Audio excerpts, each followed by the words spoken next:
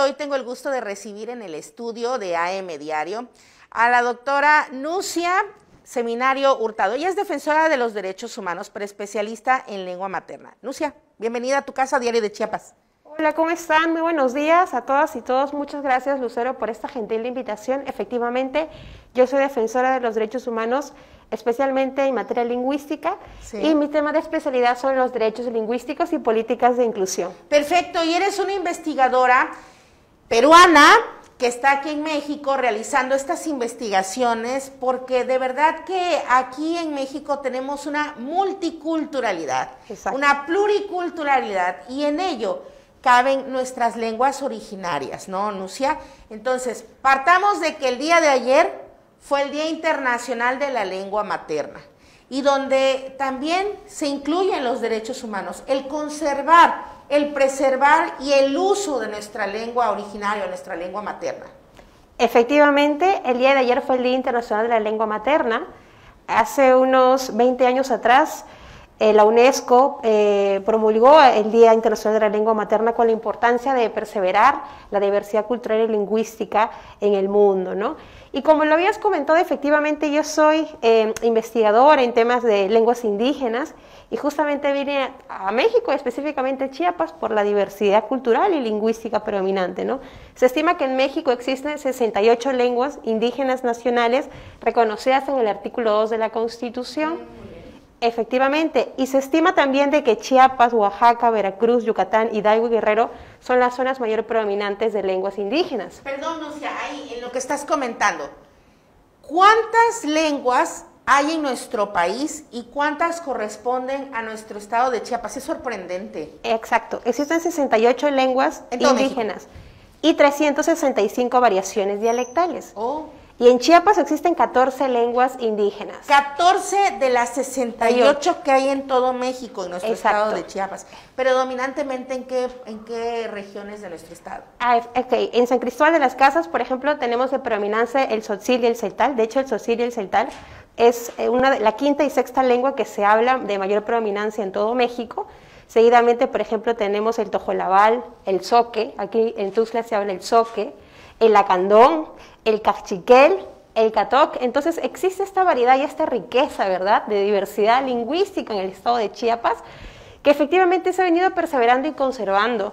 Sin embargo, creo que es importante el involucramiento que existe por parte de los pueblos indígenas y también el Estado, ¿verdad? Es muy importante esa planificación lingüística de los hablantes y ese proceso, ese tratamiento, esa, em, la identidad colectiva que tienen los pueblos para poder perseverar sus lenguas. Sí, ahí acabas de tocar un punto muy importante, en esta preservación, en esta conservación, donde desafortunadamente mucho tiempo se perdió, ¿no? Este trabajo de conservación. Y sí, últimamente hemos visto que, bueno, en los últimos años hemos visto que se ha trabajado más en ello, sobre todo en las nuevas generaciones, porque desafortunadamente el resultado es que ya muchas lenguas maternas han desaparecido.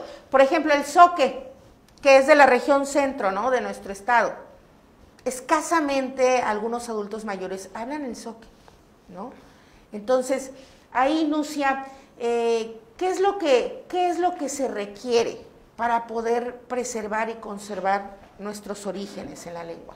Me gusta mucho cómo enfatizas porque expresas de que justamente recién en los últimos años se ha dado avances, ¿verdad? Por ejemplo, en México en el año 2003 se publica la Ley de Derechos Lingüísticos de los Pueblos Indígenas y posteriormente se crea el INALI.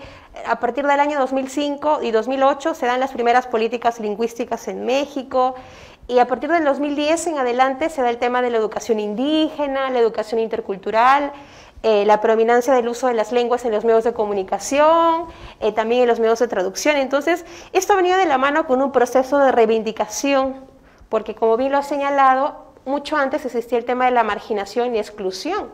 Pero México, con la suscripción de tratados internacionales y también con eh, las disposiciones constitucionales y también con las disposiciones legislativas, como la Ley General de Derechos Lingüísticos, la Ley Federal para eliminar todas las formas de discriminación, Em, ha tratado de conservar en la digitalización, sobre todo las lenguas. Por ejemplo, ahora tenemos, vamos a la página del INALI o del INPE, hay manuales de lenguas indígenas, hay también diccionarios en lenguas indígenas, hay información de COVID en lenguas indígenas. Entonces yo creo que ha habido un gran avance, pero también ha habido un retroceso. ¿Por qué? Porque aquí vemos la ausencia de planificación lingüística. La planificación lingüística se divide en dos, de corpus y de estatus. De corpus es cuando se normaliza y se codifica la lengua. Y la planificación de estatus cuando hay una intervención del Estado. Pero muchas veces se elaboran materiales o se elaboran algún tipo de documentación sin pedir autorización o sin la aprobación de la comunidad lingüística. O por último, no aprueban o no hay un enfoque intercultural. Entonces, cualquier acción que realiza el Estado que tenga que ver las lenguas indígenas, es importante la intervención de estos, de los pueblos indígenas como tal, pero yo creo que por eso existe esta ausencia de planificación lingüística en este caso, ¿no? Oye, Nucia, ¿en qué momento interviene el hacer énfasis en los derechos humanos para defender nuestras lenguas maternas? ¿Cuáles son los principales problemas a atacar en esta materia de derechos humanos? Me gusta mucho cómo enfocas porque efectivamente la lengua, eh, hacer uso de la lengua es un derecho humano. La lengua es un ente vivo, la lengua vive en nosotros. Pero los derechos lingüísticos expresamente se dividen en derechos individuales y colectivos. Individuales porque una persona tiene derecho a usar su lengua materna en el ámbito público y privado. Y un derecho colectivo porque una persona tiene derecho a formar parte de una determinada comunidad lingüística y fortalecer su identidad como tal. ¿no? Ahora, esos son algunos de los avances, ¿verdad? También hay avances constitucionales. En México existen sentencias de, amparo por parte de la Suprema Corte de Justicia de la Nación y acciones de inconstitucionalidad que se han resuelto con la finalidad de oficializar las lenguas indígenas. Sin embargo, creo personalmente que falta aún así incorporar el enfoque intercultural. Hay avances por parte de eh, legislativos pero yo creo que falta la propia sociedad, falta esa concientización, falta que nosotros revaloricemos las lenguas que existen en México, ¿no? Entonces yo creo que eso es también un elemento clave para la defensa de los derechos humanos. Fíjate, fíjate que justamente hay un grupo que se llama La Sexta Vocal, es un grupo eh, de ska, que tocan eh, en diferentes lugares, ¿no? Afortunadamente van eh, difundiendo la lengua materna, en este caso eh, el SOC, ¿no? Entonces, ellos comentaban en alguna entrevista que les hice que eran objeto de burla en la, en la escuela o en diferentes contextos por hablar su lengua materna. Y es ahí ese punto donde me interesa cuando comentas la falta de conciencia que falta en nosotros como individuos, ¿no? Y también como colectivo. Exacto, exacto. Eh, como estábamos eh, comentando al inicio de la entrevista, había un tema socialmente, un tema de exclusión y marginación. ¿no? Muchos de los pueblos dejaron de usar sus lenguas maternas porque decían de que había faltado oportunidades o no vas a progresar si hablas tu lengua, y eso todavía se ve. Existe todavía este, este, este impedimento, esta brecha, ¿verdad? Pero personalmente, como les comentaba, yo creo que la defensa de los derechos humanos lingüísticos también pueden ser vistos de acciones personales desde la sociedad civil. O sea, nosotros prepararnos para poder ayudar, defender y proteger las lenguas indígenas. Ahora, es cierto que hay avances estatales, ¿sí?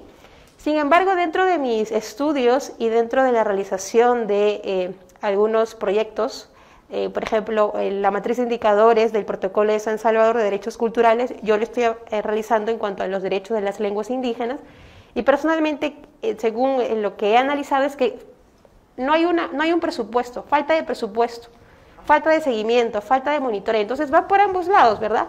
Va por parte de la gestión pública, pero también va por parte de la mera sociedad. Y indirectamente eso podría considerarse una discriminación indirecta, porque la ausencia de, este presupuesto y la ausencia de un monitoreo, un seguimiento y una planificación comunitaria correcta estaría vulnerando los derechos lingüísticos de sus hablantes. Claro, y bueno, ¿cómo podemos, cómo podemos ya como mensaje final, Nucia, cómo podemos hacer nuestra labor? Desde nuestros contextos, desde nuestro hogar, desde nuestra comunidad, desde las escuelas, por ejemplo. ¿Cómo podemos inculcar todo ello desde los pequeños hasta los jóvenes, los adultos? ¿Cómo podemos hacer? Excelente. Personalmente creo que el primer cambio está en nosotros, en poder, las personas que somos eh, monolingües de repente en el idioma español, tratar de aprender una lengua indígena originaria. Por ejemplo, tenemos el náhuatl que se habla en México, el mixteco, el, el celtal, el tzotzil y de esa manera poder difundir y proteger las lenguas. Y de otra parte, también es importante realizar acciones desde el mecanismo de la sociedad civil. ¿verdad? Si el Estado no garantiza, no protege, está en nosotros realizar ese cambio, ese impacto en la sociedad, esa transformación, para verdaderamente decirle al Estado, oye, existen leyes, políticas públicas, pero nosotros vamos a también proteger y garantizar los derechos humanos lingüísticos de los hablantes, porque la lengua forma parte de la identidad de los individuos, la lengua forma parte de nosotros, la lengua vive.